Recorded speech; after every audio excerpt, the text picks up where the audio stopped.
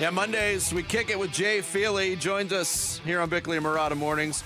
Jay, good morning to Jay. you. I did not think. What's up, boys? Uh, last How are you? thinking about this, I didn't think we'd be talking about a win uh, with the Cardinals going to Santa Clara, but here we are. The the wacky nature of the NFL, right?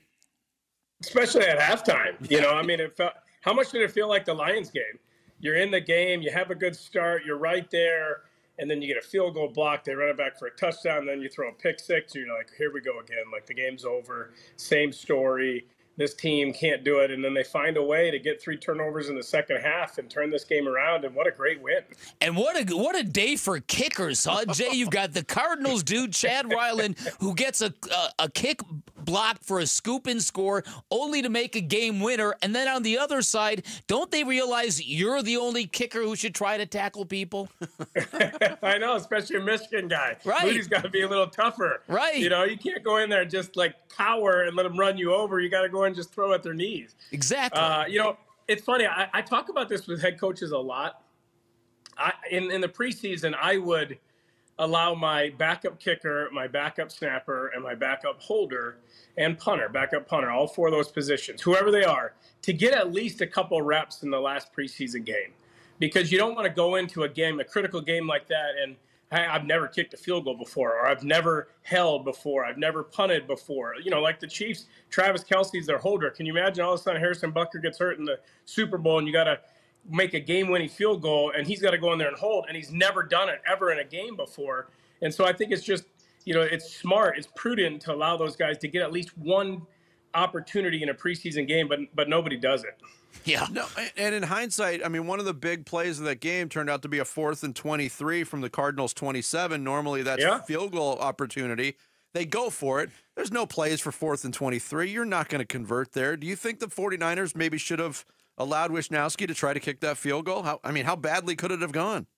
Well, stop me if you've heard this before, but Kyle Shanahan should have ran the ball more in the second half. Right.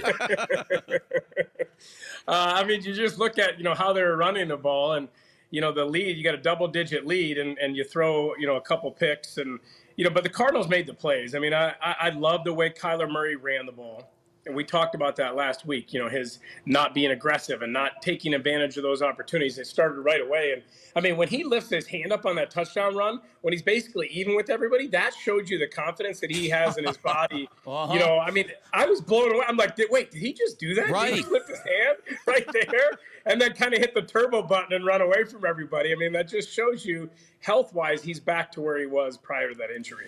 All right, the defense. I, I'm not sure I expected this Cardinal defense after what we saw against Kliff Kingsbury's Commanders to shut out the 49ers in the second half. Um, what are your thoughts on what they put on the field yesterday? Yeah, I thought they did a really good job. I mean, that that's one of the better teams in the NFL.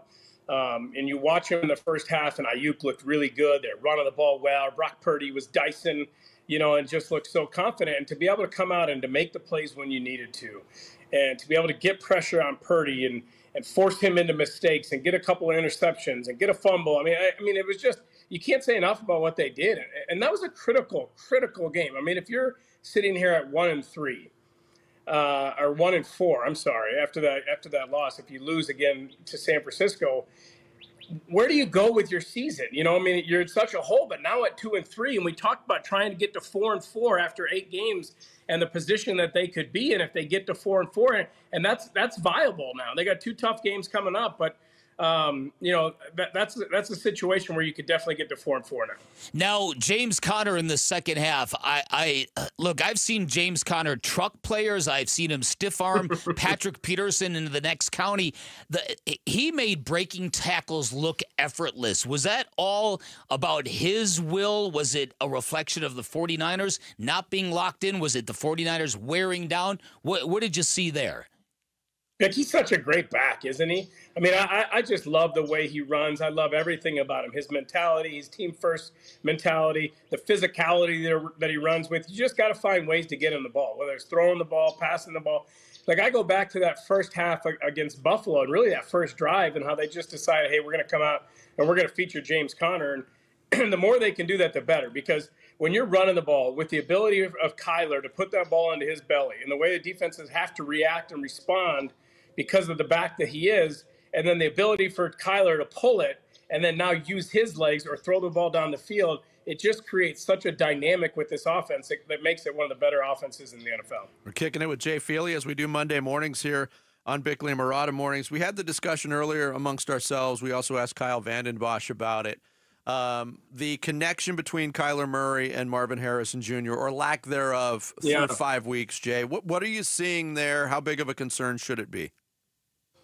Well, he's talented. There's no question. And, you know, you sit there and, okay, he's got seven targets. He only has two receptions in the game. There's been games where he seems like he's invisible. And then, you know, a couple of halves where he seems like he's unstoppable. And so it's a maturation process. He's got to understand and learn how to be a pro and understand what they want him to do this with this offense. And, you know, Petsy wants Kyler Murray to play within the offense. They, they're- they're not an offense that is going to say, hey, we're going to run plays designed for Marvin Harrison junior mm-hmm. They are an offense that they want him to run the offense and to go through his progressions. And if he's open in his progression, throw him the ball.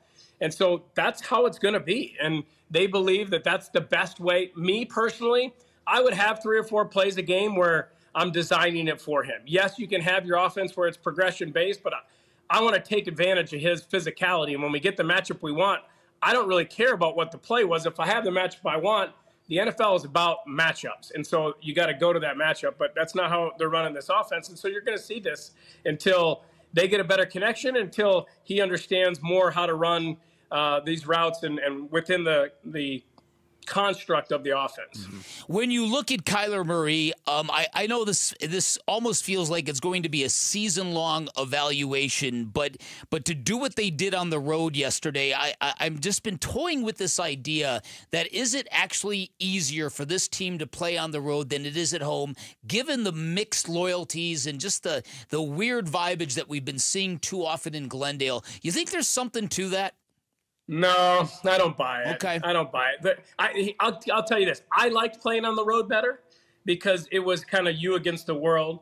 And I like that feeling. I like the feeling of going to battle with my guys and, you know, going to the hotel and there's no distractions from family. Nobody's in town. You don't have to worry about picking somebody up at the airport or driving around, you know, and, and entertaining them on the weekend. I liked going on the road. So that, that is a valid point. Um, but you have an advantage at home. You should, and you know you should be able to take advantage of that. Um, you know, defensively, and when offenses have to use silent count, and that's on the fans. You know, that's on the fans not to sell their tickets and to be loud when uh, when that defense is on the field and help them out. Jay Feely, our guest here on Arizona Sports. We started with kickers. I want to end with the other kicker. Chad Ryland was sitting on a couch last week. He gets a call midweek, comes out, uh, not only boots three field goals, uh, but has some adversity and then kicks the go ahead field goal. And people, you know this better than anybody, Jay. People will diminish what kickers do in the NFL uh, from the outside. But can you put into words just how difficult that that assignment is for a kicker to come in and perform when you don't even know your teammates, basically?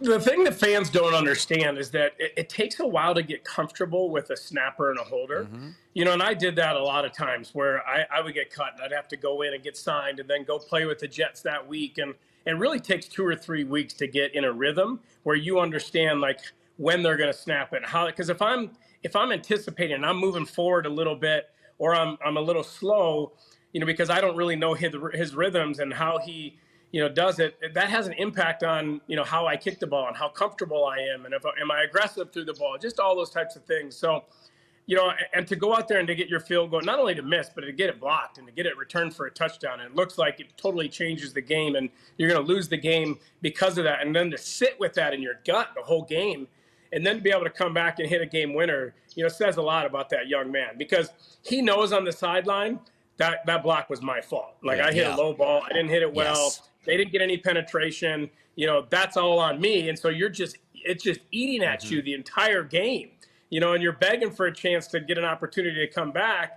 Uh, and hit a game winner or do something to help your team, and so it's a pretty cool moment for him to get to get that opportunity and then come through for his team. How weird will it be if he's kicking for the 49ers on Thursday against Seattle? he, he could be He too. might. he might. Jay, great stuff as always. Thanks, man. We'll talk to you next Monday. All right, guys. Great to talk to you. Yeah, Take care. Jay Feely kicking it with Jay every Monday here on Bickley and Marotta Morning. Thanks for watching Bickley and Marotta. Click to see the latest Bickley Blast and hit the button in the middle to subscribe to Arizona Sports.